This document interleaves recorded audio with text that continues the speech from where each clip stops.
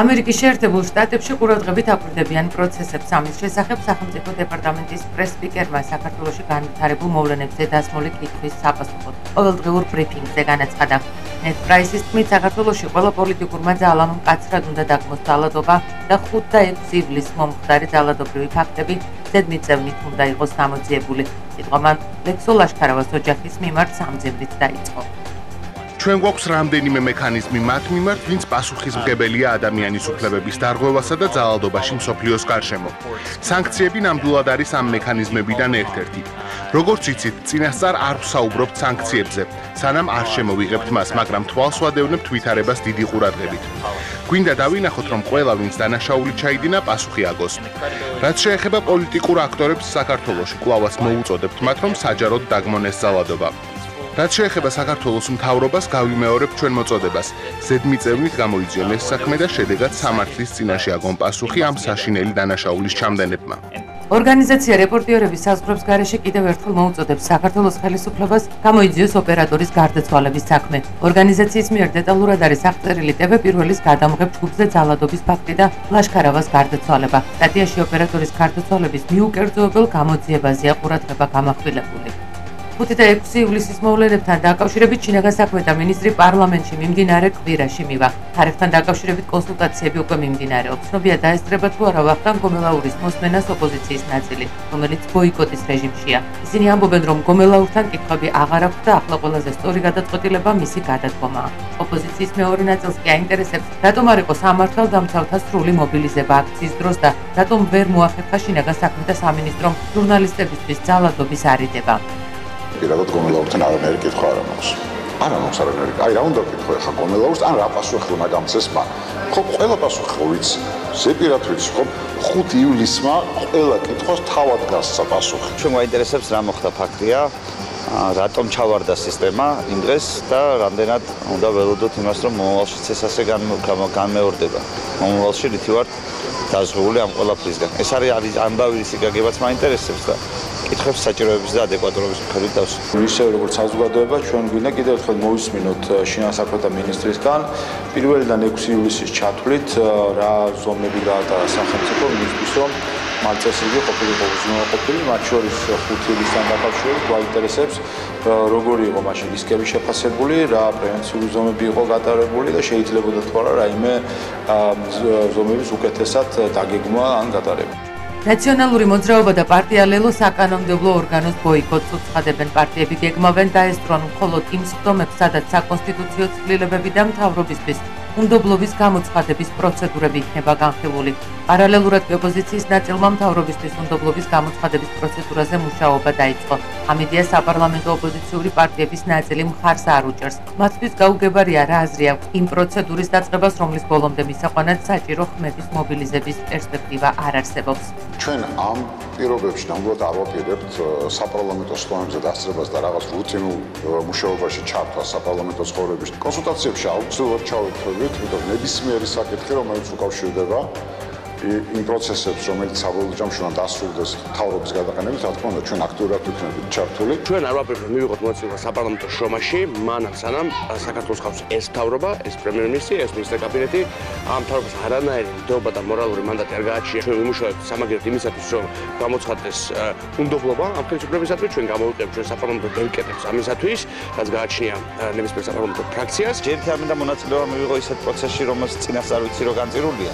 ესეთი დამავდროულად კიდევ უფრო მეტად დაძაბავს არსებულ დაძაბულ სიტუაციას. მისი აი ამგვარად აი წინასწარ წაგებული მდგომარეობაში გამოყენება მე არ მიმაჩნია სწორი მათ შორის არც ამ ინსტიტუტის შემდეგი განვითარების. პოლიტიკური პარტიები ამ შემთხვევაში ლელო და ნაცმოძრაობა არიან პოლიტიკური სიზარმაცის რეჟიმში საკანონმდებლო პროცესში აღარ უნდათ მონაწილეობა და ეხლა რაღაც მოიგონეს ბოიკოტის რეჟიმი. რაც შეეხება მთავრობის გადაყენებას, ნუ აქამდეც კონდათ და ამის მერეც ალბათ მათ ეკნებათ ეს სურვილი რომ თავრობა გადადგეს, მაგრამ რეგლამენტის შესაბამისად პროცედურულად თქვენი ცით რომ მინიმუმ 76 ხმა საჭირო, მათაც თქვეს რომ ჩვენ ამას ვერ მოახერხებთ, უბრალოდ უნდათ რომ ეს პროცესი დაიწყოს. ნაციონალური მოძრაობა ცდილობს რევანშისტული ქმედებებით სიტუაცია არიოს. მთავარი რისკენაც ახლა ქვემეხი მიმართ არის ეკლესია და პატრიარქი. ამის შესახებ განაცხადა ვიცე-პრემიერმა. საქართველოს კულტურის, სპორტისა და ახალგაზრდობის მინისტრმა თეა წულუკიანმა საქართველოს პირველი არხის გადაცემაში თავისუფალი ხედვა. თეა წულუკიანმა ასევე გააკეთა განცხადება იმის შესახებ, რომ ქვეყანაში ვარდები აღარ იქნება, მაგრამ არჩევნებით შესაძლებელია საზოგადოებამ ეს ხელისუფლება გაისტუმროს. ნაციონალური მოძრაობა ცდილობს ეხლა უკვე დაქსაქსული, ეხლა უკვე მრავალთავიანი, ეხლა უკვე მრავალი აქტორით წარმოდგენილი შიდა პეიზაჟზე ცდილობს რომ რევანშისტული ქმედებებით არიოს სიტუაცია. ყველა ის ადამიანი, ვინც იყო გარეთ, არის სპეციალურად მომზადებული ამისთვის, თუ უკიდურეს შემთხვევაში გამოსაყენებელი ძალა, როგორც არის ეგრეთ წოდებული სპეციალური დანიშნულების ძალები არ იყო გამოყვანილი, ამას ეკნებოდა თავისი მიზეზი. ასე მეტი ადამიანია დღეს დაკავებული და რამდენიმე ათეული სისხლის სამართლებრივი წესის ციხეში საპატიმროში და დანარჩენები ადმინისტრაციულ პატიმრობაში არიან. კორონავირუსის დელტა შტამით ბავშვების ინფიცირების რიცხვმა იმატა. მედიკოსები და ჯანდაცვის ექსპერტები ამბობენ, რომ კლინიკებში მიმართვიანობა გაზრდილია. მატულობს მძიმე პაციენტების რიცხვიც, რაც მალე არაკონტროლირებად სიტუაციას გამოიწვევს. იმ შემთხვევაში, თუ მოსახლეობა არ გამოიყენებს პირბადეს და არ ჩაიტარებს აცრას, ეპიდემიოლოგები არ გამორიცხავენ, რომ შესაძლოა წინა წლის შემოდგომის პერიოდი განმეორდეს და შესაძლებლობის დაწესება კვლავ საჭირო გახდეს. დაავადებათა კონტროლის ცენტრის მონაცემების თანახმად, ბოლო 24 საათის განმავლობაში საქართველოში კორონავირუსი ვირუსი კიდევ 1663 ადამიანს დაუდასტურდა, გამოჯანმრთელდა 769 პაციენტი. ძირითადად ბავშვების დაინფიცირების წყარო არიან ხოლმე ინფიცირებული მშობლები, ამიტომ ჩვენ ნიშნულოვანია რომ პირველ რიგში ჩვენ დავიცვათ რეკომენდაციები იმისთვის რომ ბავშვებიც და ასაკოვნებიც იყვნენ დაცულები. ჩვენ რეგიონში და არა მხოლოდ ჩვენ რეგიონში საკმაოდ მაღალია დელტა შტამის გავრცელება, რაც ძირითადი ფაქტორია ალბათ ეპიციტუაციის გაუარესების. აი ამიტომ ამ ფაქტორების გათვალისწინებით და ახლანდელი მონაცემების საფუძველზე შეგვიძლია ვთქვათ, რომ თუ ჩვენ არ დავიცვალთ რეკომენდაციებს და არ იქნება ღონისწორი და ადეკვატური ღონისძიებები გატარებული, რა თქმა უნდა, უახლოეს პერიოდში კიდევ უფრო გაუარესდება ეპიდ სიტუაცია. ბოლო ორი კვირის განმავლობაში საქართველოს ინფიცირებულთა რაოდენობის ზრდას მოყვა ბავშვების უფრო მეტი ინფიცირება კორონავირუსის დელტა ვარიანტი გაცილებით უფრო მეტად აზიანებს ბავშვებს ბავშვებში დელტა ვარიანტი უფრო მეტ მძიმე შემთხვევებს იწვევს შესაბამისად მომართვიანობაც სამართლებებში გაზრდილია თუმცა განაპირობა კიდეც საწოლთუნის გარკვეული დეფიციტი და აუცილებელი გახდა საწოლების დამატება. ერთ-ერთი შესაძლებლობა ჩვენი შვილებისა და შვილიშვილების დაცვის ეს არის შობლების ოჯახის უფროსი წევრების ვაქცინაცია. სხვა გამოსავალი არ აქვს. განდაცვის მსოფლიო ორგანიზაციის მთავარი მეცნიერი სუმია სვამინათანი აცხადებს, რომ სხვადასხვა მწარმოებლის მიერ შექმნილი ვაქცინების შერევისგან თავის შეკავებისკენ ინდივიდებს მოუწოდა და არა ჯანდაცვის უწყებებს. ცალკეულმა პირებმა დამოუკიდებლად არ უნდა გადაწყვეტონ საზოგადოებრივი ჯანდაცვის უწყებებს კი ეს შეუძლიათ. სხვადასხვა ვაქცინის შერევასთან დაკავშირებით ჩატარებული კვლევების მონაცემებს ველოდებით საჭიროა შეფასდეს იმუნოგენურობა და უსაფრთხოება აცხადებს სვამინათანი. მეცნიერმა ვაქცინის შერევისგან თავშეკავებასთან დაკავშირებით განცხადება რამდენიმე დღის წინ გააკეთა მისი თქმით, ხაოსური სიტუაცია შეიქმნება თუ ქვეყანაში მოქალაქეები დამოუკიდებლად მიიღებენ ვაქცინების შერევის გადაწყვეტილებას. ამერიკულ-გერმანული წარმოების ვაქცინა Pfizer-ი საქართველოსია. დოზების მისაღებად უკვე გაწერილია რეგისტრაციის დაწყების თარიღი. Pfizer-ი AstraZeneca-ს მსგავსად აცრები მხოლოდ კლინიკებში ჩატარდება. ვაქცინაციისთვის საჭიროა ორი დოზის მიღება. ამ დროისთვის ქვეყანაში 4 სახეობის ვაქცინა Pfizer-ი, AstraZeneca, Sinovac და Sinopharm-ია. ჩვენ უკვე მივიღეთ ხელშეკრულებით გათვალისწინებული Pfizer-ის გარკვეული დოზები, რომლითაც ჩვენ უკვე საშუალება გვეძლევა ჩვენს მოქალაქეებს ხელმისაწვდომობა გაუჩინოთ Pfizer-ის ვაქცინაზე. დღეიდან უკვე Pfizer-ის ვაქცინებითაც ჩვენ ვიწყებთ მასიური ვაქცინაციის პროცესს. ამ პროცესში პირველი ეტაპისთვის ჩართული იქნება საქართველოს მასშტაბით 7 კლინიკა. დღის მდგომარეობით 30 ბრიგადა იქნება განკუთვნილი Pfizer-ის ვაქცინაციისთვის და ეტაპობრივად ამ პროცესში ჩაერთვება 80 დამატებითი კლინიკა და სულ მცირე 240 ბრიგადით მოვემსახურებით ჩვენ ჩვენს მოქალაქეებს. უშუალოდ ვაქცინაციის პროცესი დაიწყება 16 ივლისს. ეს გარკვეულწილად ახალი ეტაპია.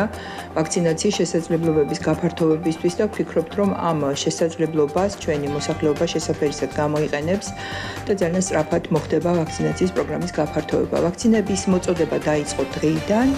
ეტაპობრივად მოხდება აი მილიონზე ოდნავ მეტი ვაქცინის მოწოდება, რომელიც ჩვენ Pfizer-თან გვაქვს ბილატერალური ხელშეკრულების ფარგლებში შესყიდული და ვფიქრობ, რომ ძალიან სწრაფად ყველა მსურველს, ვინც შესაძლოა დიდი ხანი უკვე ელოდება Pfizer-ის ვაქცინის არჩევანის შესაძლებლობას, ექნება იმის საშუალება, რომ დარეგისტრირდეს და მიიღოს მისთვის მნიშვნელოვანი და სასურველი დაცვა. ვფიქრობ ძალიან მნიშვნელოვანია ეს თითოეული ჩვენთაგანისთვის საერთოდ სოფლიოსთვის, იმიტომ რომ დავამარცხოთ კორონავირუსი, თან ჩვენთვის იმიტოს მნიშვნელოვანია, რომ შევძლოთ გასვლა საზღვარგარეთ, კონცერტები ჩავატაროთ და ასე შემდეგ. ურჩევ ყველას, რომ მიიღოს ვაქცინაციაში მონაწილეობა. ჩვენ სოციალურ ქსელში დიდი ხანია გავაკეთეთ. ჩვენი განცხადება, რომ აუცილებელია ყველა აიცრას. ყველა არა მარტო ის ვინც ქვეყნიდან ხშირად გადის კონკრეტულად მე ხა გასტროლებთან დაკავშირებით და ჩვენი ანსამბლი ძალიან ხშირად გადის ქვეყნიდან და აუცილებელია ყველა აცრილი ყოფილიყო 80% აიცრა მაისში და ივნისში ჩვენი დასით. ძალიან პატარა პროცენტი დარჩა ახლა ვინც დღეს აიცრება და სრულიად 100% ჩვენი დასი იქნება აცრილი სავალდებულოა რომ ყველა იყოს აცრილი რომ ნაკლები იყოს შანსი დაავადების და ასევე დაავადების გავრცელების. სუხეშულები ვუერთდებით საყოველთაო ვაქცინაციას. ძალიან ბედნიერები ვართ რომ გვაქვს შანსი რომ ავიცრათ მთელი ანსამბლი ერთად ვიზრუნოთ ჩვენს სიცოცხლეს და სხვის სიცოცხლეზე დავიცვათ ერთმანეთი ასევე ჩვენ ვართ პედაგოგები დავიცვათ ბავშვები ვიაროთ საზღვარგარეთ გავიტანოთ ჩვენი კულტურა და აუცილებელია ამისათვის ავიცრათ და დავიცვათ ერთმანეთის სიცოცხლე პარლამენტი 2021 წლის სახელმწიფო ბიუჯეტში დაგეგმილი ცვლილებების განხილვას ფრაქციის ფორმატში აგრძელებს. დეპუტატებს ბიუჯეტში დაგეგმილ ცვლილებებს დღეს ფინანსთა მინისტრის მოადგილე გიორგი კაკაურიძე გააცნობს. ცვლილება ითვალისწინებს ბიუჯეტის მთლიანი შიდა პროდუქტის 3.4%-ით ზრდას. დეფიციტი მცირდება 6.9%-მდე.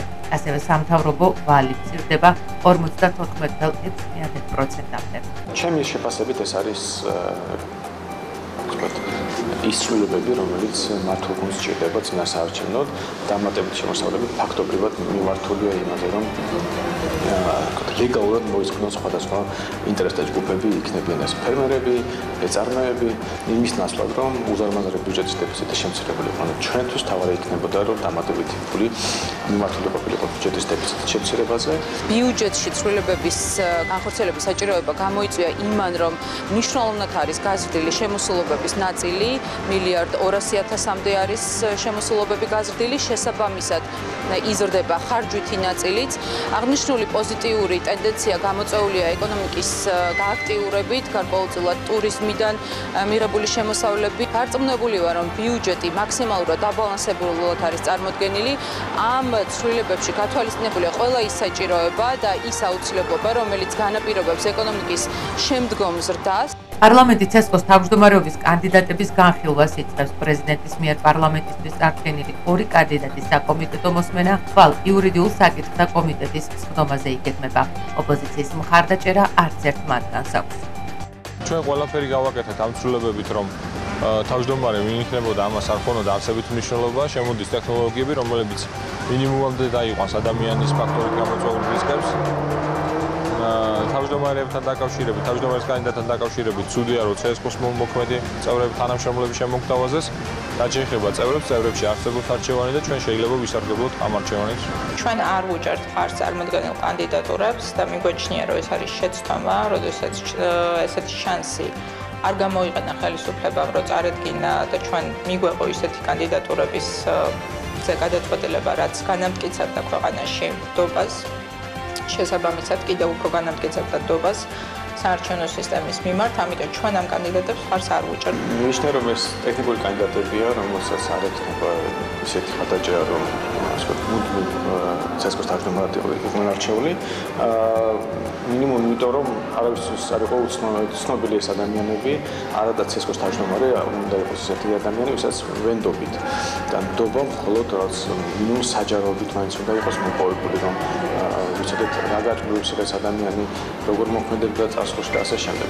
ამიტომ დიდი ალბათობით ოპოზიცია არ დაუჭერს ალბათ ამ კანდიდატებს ხარს. მე უფრო მეჩვენება რომ ამ შემთხვევაში გვაქვს აი როგორ თქვა წინასწარ პოზიციების შემზადება საიმისოდ რომ იმ შემთხვევაში თუ კი ოპოზიციისთვის არადამაკმაყოფილებლად დასრულდება არჩევნები იმიტომ რომ ვერ მიიღებენ მოსახლეობის იმ ხარდაჭერას რომელიც მათ ხელისუფლებაში მოყვანას უზრუნველყოფს რომ გააკეთონ შემდეგ განცხადებები. წინასწარ ასე თქვა დაიბერონ ვითარება და შემდეგ მოაყოლონ განცხადებები არჩევნების გაყალბებასთან დაკავშირებით, ესე ასე ვთქვით, იგივე ტყუილი განცხადებები და მოსახლეობის ტყუილში ასე ვთქვით, სტარი მოსაზრებების თავსმოხვევის იგივე ცდილობები, რაც ქონდა შარშანდელი არჩევნების შემდეგ დიდი ხნის განმავლობაში.